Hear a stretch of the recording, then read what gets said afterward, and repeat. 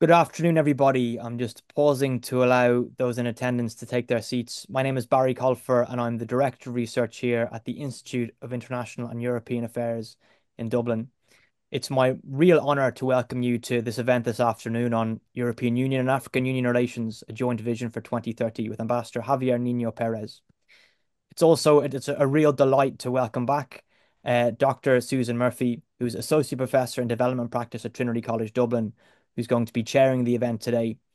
Uh, Professor Murphy is the principal investigator on the European Research Council funded project Geoformations, Geographies of Dynamic Governance, Assemblages and Development Cooperation, Civil Society Spaces, which is a five-year project and a real kind of a really eminent thing to to be doing um, on, on behalf of um, Trinity College Dublin and indeed the on behalf of people who are interested in knowledge everywhere. A really interesting uh, project, and it's it's really great for you to carve out the time, Susan, to be with us, notwithstanding everything else you have on your day. So, without further ado, it's my real pleasure to hand over to you, uh, Susan Murphy. If you could please introduce our speaker and take us away. Thanks so much, Barry, and thanks, Emma and the team at IEA. Uh, it's a real delight and pleasure to be here today. Um, I have a, a fantastic uh, um, role uh, today uh, to be part of this conversation and this discussion. So I'm really pleased to welcome everybody to this webinar. Um, I am particularly delighted to introduce our guest speaker, uh, Ambassador Javier Niño Pérez, who is joining us today from Addis Ababa. Uh, Ambassador Niño Pérez is the head of delegation for the European delegation to the African Union. Um, and will be speaking with us today about Europe, the European Union and African Union relations, uh, a joint vision for 2030. I'm really excited to hear this discussion today uh, because we are going to hear um, Ambassador Niño Pérez's perspective and his, his view and vision and share with us his view and vision around partnerships and the European Union's commitment to its partnerships with the African Union and their commitment to multilateralism, to reducing global inequalities, to strengthening solidarity, to promoting international cooperation, and to fighting and mitigating uh, climate change. So once Ambassador uh, Niño Pérez has given his address, we will then go to questions and answers with our audience uh, on Zoom and for the remainder of the time. Um, as this is an online event, uh, you are invited and you're able to join the discussion by using the Q&A function, uh, which you should see on your screen. Please feel free to send us your questions throughout the session as they occur to you. And please ensure that you do mention your name and your affiliation with the question. A quick reminder that today's presentation and Q&A are both recorded. Uh, so you'll also be able to join the conversation here and on X. Uh, if you do join the conversation online on X, please use the Twitter handle or the X handle uh, at IIEA. And please tag us on any posts that you wish to share about the event on social media. And so now I have at the task of briefly introducing uh, our wonderful speaker today, Ambassador Niño Pérez. Um, the ambassador is the, as I've noted, the head of delegation uh, for the, the European delegation at the African Union. And this is a position that he has held since January, so the beginning of this year in 2024. Uh, prior to this, uh, he was engaged in various positions within uh, the European External Action Services and the European Commission, including Director and Deputy Managing Director for the Americas, Head of Division for the US and Canada, and Head of Division in Turkey. He has served as an ambassador in Haiti and Cuba and has held various positions uh, within the political and economic sections of the European Commission uh, and their delegations in Trinidad and Tobago and Burkina Faso. Ambassador Niño Pérez holds a master's in advanced political studies uh, from the College of Europe in Bruges, an LLM in European law from the Free University in Brussels, and a degree in law from the University of Vala I'm going to I'm going to be really, really, really poor in my pronunciation here. So please correct me, Ambassador. Uh, Valladolid in Spain. So with that, I am delighted to introduce and hand over to Ambassador Niño Pérez. Over to you. Uh, Professor Murphy, dear, uh, dear Susan, truly, uh, truly a pleasure. Uh, equally, my greetings to Barry, Emma, all the team at the Institute, and good afternoon to you all. Um, I'm really a bit overwhelmed, actually, I have to say, because I'm very familiar with the work of the Institute and I'm really well aware of the, the, the, the speakers that you have had in the past, from Ban Ki-moon to my friend David O'Sullivan. So as I said, I'm a bit overwhelmed. And I hope that um, I could share some interesting thoughts with you. I'm also being humble, um, uh, Susan and colleagues, because as you said, you you you read my disclaimer. I've been doing this for eight months, uh, so take whatever I said with a bit of a grain of salt. I know that many uh, today will know much more about Africa than I do.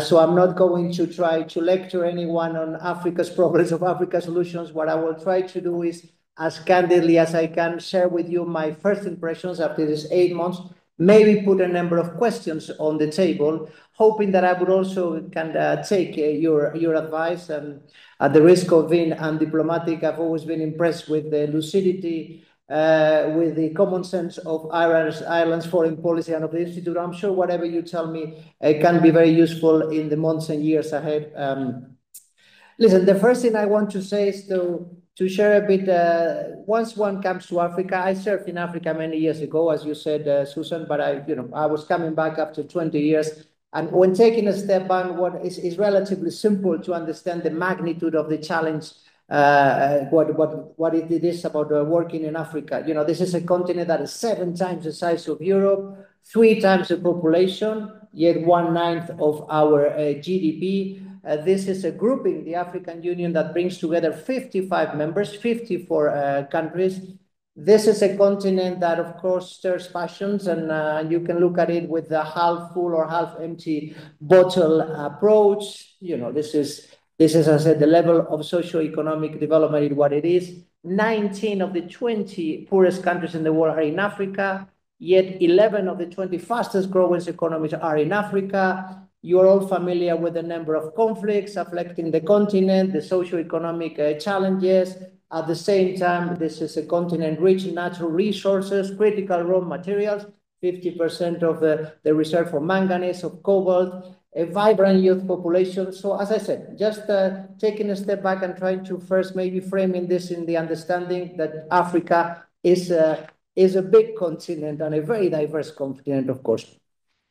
I will limit myself, if you allow me, uh, Susan and, and, and, friends, to, to limit uh, my presentation to the partnership, because, you know, we could spend days and months discussing Africa, but I work on a daily basis on the EU-AU partnership, and maybe this is where I should focus because that might be where I have uh, more interesting thoughts to share with you and pointing to the challenges, uh, because this is what we need to uh, look into today over the next few months, how to develop or fully develop the potential of this partnership by identifying the areas where things could do better, could be done uh, better maybe. Um, let me first refer to the African Union and the African Union Commission. After eight months on the job, as I said, I have three still uh, rather existential questions that I keep asking uh, to myself. And, uh, and, uh, and, and in a way makes me uh, show a lot of empathy to my counterparts in the African Union Commission. The first existential question is, how does one set priorities when it comes to the African Union Commission? Um, there's two parallel processes ongoing, I believe. One is um, how the African Union Commission is working on the very legitimate and, and interesting long-term challenges of the continent and processes.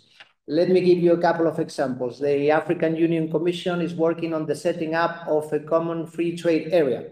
Uh, they're also working on the implementation of a common market for aviation, a common market for electricity. As I said, very commonsensical uh, objectives, um, very complex processes, but they stand in sharp contrast to the dire situation of many Africans in this continent. So, you know, we can all agree on the adequacy of setting up progressively a common market for electricity to reduce the price of energy, to facilitate access of energy, but at the same time, 600 million Africans don't have access to electricity. It is absolutely, again, uh, commonsensical and opportune to discuss a common market of aviation to reduce costs. But at the same time, as we all know, probably roughly 70, 80% of Africans cannot afford to get on a plane.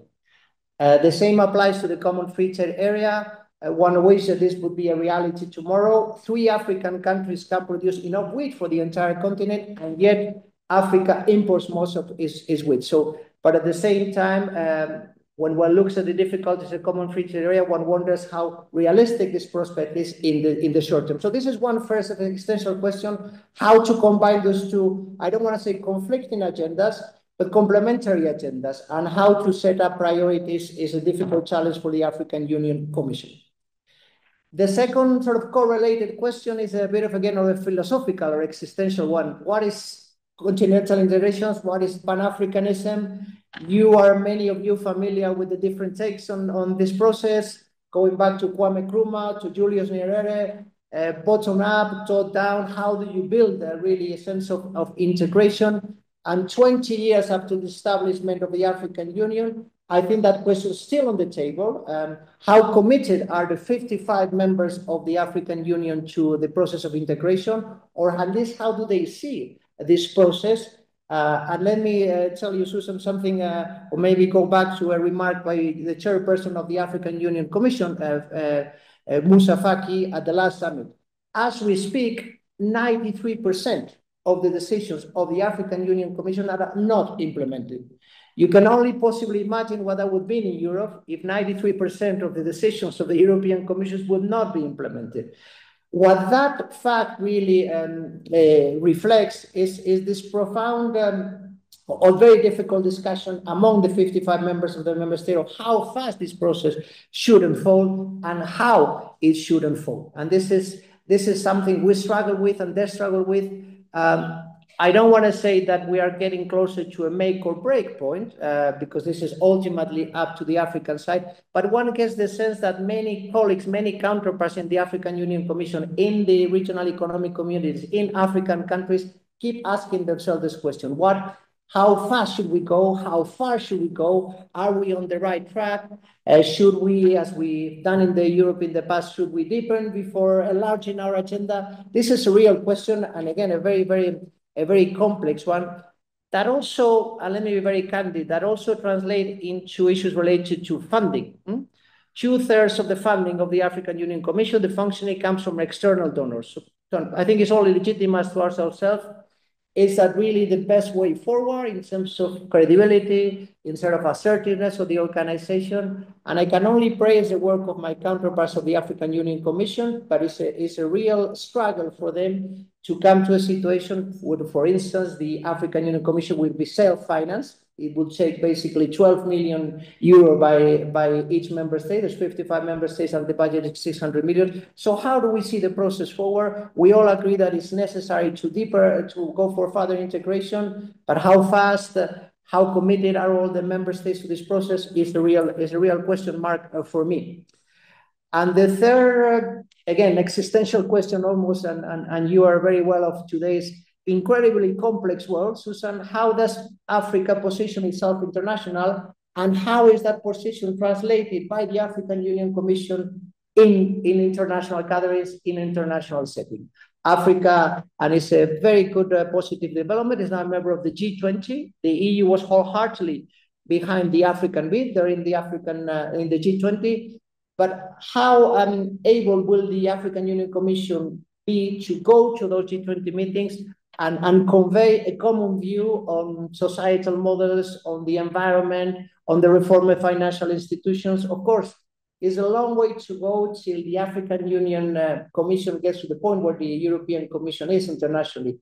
But still, it's a, it's a question mark in terms of uh, can we really talk about common African views internationally? Because that's a precondition, obviously, to engage with them internationally. And we're fully committed, obviously, to help Africa and our African counterparts in that undertaking at a point where you see the struggle between liberal democracies, between authoritarian regimes, and, and where sometimes one has problems identifying Africa's proposition. And I'll, I'll get back to, the, um, to that um, uh, a bit later. So this is three initial thoughts on, on, um, on how we see the African Union Commission and the challenges. As I said, I think it's only remarkable uh, to think about the progress that has been made, considering, as I said before, what, what the, the, the magnitude of the challenge and the 55 members and the, and the number of, of, of problems that, that, that they face. How about ourselves? How about the EU? Because this is not just about Africa. It takes two to tango or to, uh, to salsa or to dance here in Africa as well. I think that we also need to ask uh, ourselves a number of existential questions. The first one, again, very much related to today's world affairs, is how do we see Africa in our in our set of priorities? Hmm? The world has changed uh, significantly since the last summit in 2022, the joint vision you were referring to, the 2030 vision. In the meantime, uh, Russia invaded Ukraine. In the meantime, the Middle East has again uh, imploded. Uh, uh, we still have uh, the neighborhood, we still have the Western Balkans, we still have to look at Asia. So when it comes to the African Union Commission, our dialogue with them, where are we now in terms of the European Union foreign policy? And, and this is this is clearly uh, something that we need to reflect upon now that there's a new leadership in the European Union, a new commission coming in, a new European Parliament, a new European uh, landscape when it comes to politics. So what is going to be our response to uh, prioritizing Africa or not? And I mean that, and when I say prioritizing, I'm talking about foreign policy, I'm talking about engagement on development cooperation, on investment, on trade-related issues, on a work on migration. So this is something we need to think about over the next uh, few months. And again, it would be great to, to get your take. I, for one, and, and comes with the job, I want to say that uh, Africa should remain on our top list of priorities not least because of the geographical proximity, but also because of the of the many interests that that bring us together. Uh, let's think international and, and realize that if we if we were to uh, present a common position internationally, we be doing so by uh, by bringing 40 percent of the votes at the UN General Assembly. So it's a is possibly the most powerful and meaningful international partnership one could think about in terms of continent to continent. Um, another incredibly important element. And uh, and Olivia Leslie, your lovely ambassador to uh, to Addis Ababa and the African Union, was sharing her thoughts with me recently. Is uh, how how do we rebuild trust with this continent? Um, we're all painfully aware of the colonial past of some of the EU member states. Not all of them have colonial past. Well, some of them have a colonial passport from the other side of the table. Uh, but it's clearly an issue in our dialogue with the African Union and with the African Union Commission. I, I meet I meet ambassadors in Addis who in their youth were given a Kalashnikov by the Russians to fight uh, for independence or to fight the apartheid regime. It's very difficult to change that mindset. Uh, I, for one, think that in spite of our sometimes painful, sometimes positive past, we have much more in common with Africa than other countries and other partners, but still, this is really an issue. We come with a lot of baggage to Africa. So we need to look at this issue candidly, but also constructively, possibly looking into the future, whilst acknowledging that our common history is, is there. And very much relate to the tone of our dialogue, to how we speak to each other, is again how we prioritize uh, uh, uh agenda items in, in our dialogue. You know, the, the, the, the, the the long list of issues we have to work with Africa and we have to uh, engage with Africa, listening to each other, learning from each other is almost endless. Migration, the environment, peace and security, energy, human rights, democracy. So going back to the point that the African Union Commission is, is uh, facing, how do we prioritize uh, as Europe? Clearly and politically, there's a number of issues that stand out. The environment and the green revolution and migration, together with peace and security, are maybe the sort of the holy trinity of our dialogue. But how do we go about it is, um, is a different matters, and how do we work at the same time for many, many other issues.